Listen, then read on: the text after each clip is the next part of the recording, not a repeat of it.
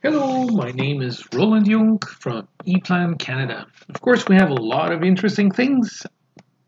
Today, I want to focus on something a little bit special. This guy here that is working on ePlan, and I'd like to help you with something, something that I see quite often. Sometimes when we go inside ePlan, we can see here, it's actually, as you can see, it's actually uploading some parts. Uh, this is quite cool. This one here, the terminal strip navigator. When I look at a terminal, uh, I usually cross-check my terminal strip navigator. And inside this project here, as I drill it down, you can see the first terminal strip here is perfectly fine from the icons. I can also see it's not necessarily placed because I don't see any parts placement. And I often open here the edit menu and I can see that we have here even the ending plates and the isolating plates and everything is nicely set. On the TB2, uh, maybe on, on, on, others down there, you can see that see the difference is that the terminal has a parts placement. So these parts are actually placed somewhere. Now the TB2 comes up with this icon here. You can see on the second one, you have this small special icon here, which primarily tells me that the part number that was selected by ePlan here is not exactly uh, in line with what is placed down on the schematic. So here I'm running the device selection, and you can see as I run the device selection, boom, this actually disappears. How can I do it for all of them? I can just go here, main terminal, pick the terminals as I, I just did. They're all the same, right? And I go here and I just go, I do a quick device selection. There we go, and it's done. Now, what you can see on this one here, if you go back here to no activation, now it's all corrected. So it's basically not like this one anymore, right? Now, what we can see is there's no terminal strip. There's most likely, if I go in here, there's probably no accessory.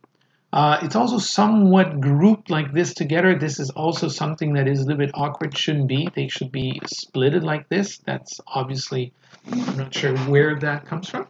They are all jumpered together. It's perfect. So, so far, so good.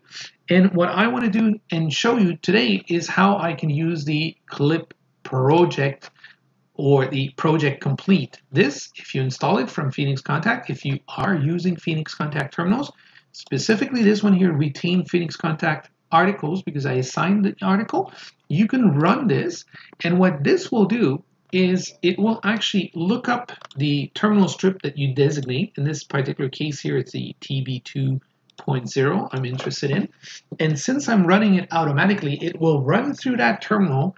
It will open, of course, the Phoenix Contact uh, free software you can actually ask them to, to install.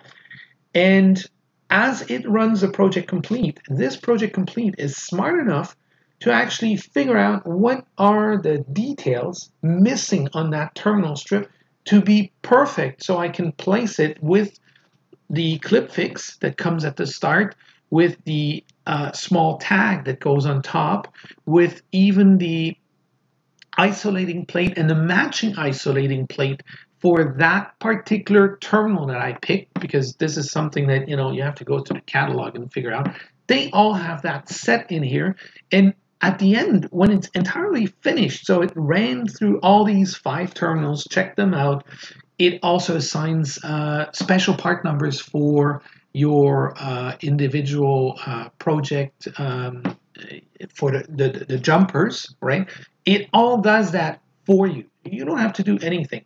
I'll show you as soon as it's finished that Phoenix contact and that Phoenix contact you can get it uh, here. Just go to the Phoenix contact, Phoenix contact your website. Uh, there, I can see I'm, I'm quite often there. Just go here for project complete.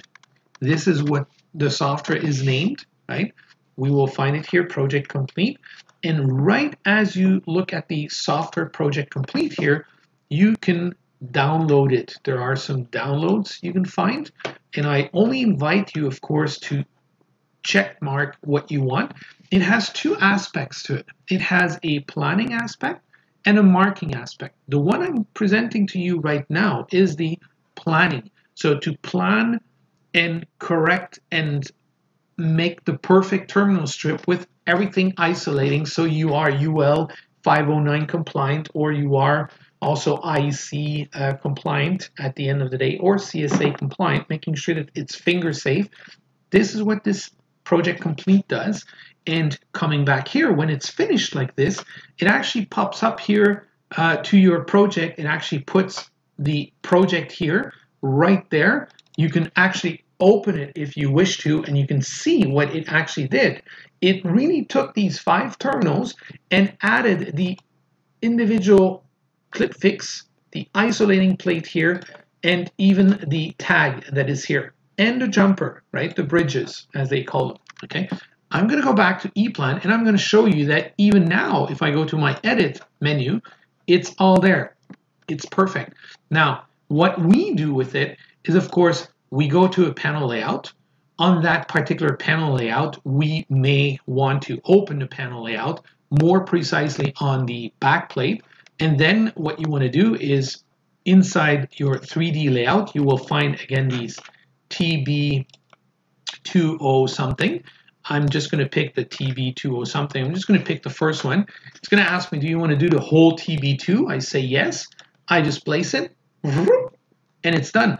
And you can see if I actually approach myself, I have the isolating plate, I have this that weren't there before that got added and here. So you have the perfect terminal strip, the exact size, you, will never be wrong. You can see now how it looks when it's all placed. Okay, just wanted to show you this um, nice feature. Last but not least, of course, is the clip project also comes with the other marking aspect the marking aspect is quite interesting too because you can pre-configure what labels you want. In my case, I want my wires, my cables, my devices. And all I do is I run the clip project export and it will actually then open the marking tool and as you can see here and pop up and populate it with exactly the labels I picked sorted the way I wanted, organized the way I wanted, with even the same and perfect label that I pre-picked earlier. So it's just a matter of configuration. These, this configuration, we at ePlan can help you. Phoenix Contact on their site can help you too. Here, Chital Moody uh, in, in Canada is responsible on that side. Um, we all have uh, a knowledge experience ex exchange on, on both sides so that it actually generates automatically the labels inside this tool. So this was Roland Younk from ePlan, ePlan Canada. Come and see our latest eManage. That's the new kid on the block. Or just call your support people from ePlan, local support. Sign up for my uh, YouTube channel if you wish to, if you want to see more of these videos. Thank you. Bye.